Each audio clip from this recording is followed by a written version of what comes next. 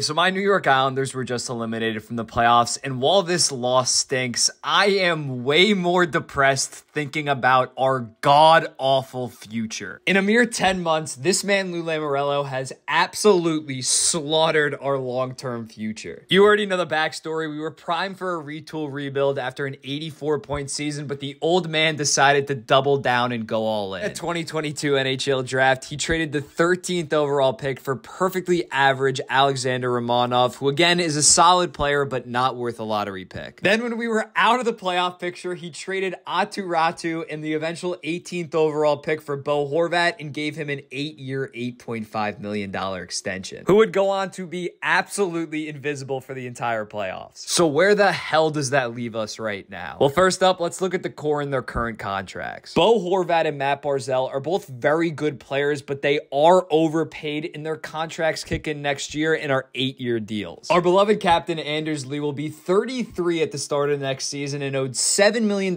for the next three seasons, which he already isn't worth. The Pelech Pulock pair took a big step back this year, and they're both going to be 29 at the start of the next season, making a combined $11.9 million till 2029. Lastly, 32 year old Casey Cizikas, an above average fourth liner, is owed $2.5 million the next four years. So if you're counting at home, that is six contracts that are untradeable and are probably going to age horribly. And that's also ignoring Palmieri and Pageau, who are also pretty old on long-term deals, but are only making 5 million per season. So the core is old, but surely there's got to be some young players in the system. Wrong! In early January, they were ranked 27th by The Athletic and the Hockey Writers when it comes to teams' prospect pools. With The Athletic describing it as a glut of okay to solid prospects, not exactly a ringing endorsement. And remember, I said that was in early January, before we traded away our top prospect, Aatu Räty. So in the trade, we traded away our first round pick. So when they do those rankings again in the summer, we are going to be bottom three, no doubt. Maggio, Dufour, and Odelius are solid prospects, but those are most teams' fourth to sixth best prospects. So to tie it all together, Lou Morello in the past 10 months has gone all in, tanking the future just to lose in the first round in six games. This group will be mildly competitive for the next two to three years. It is not a horrible group, but they cannot not win at a high level in the NHL right now. But after that mediocre three year window shuts, we will see a long, long rebuild similar to what Mike Milbury put us through. So, Lou, thank you for the five playoff series wins. It was a fun five years, but you have ruined this team's future.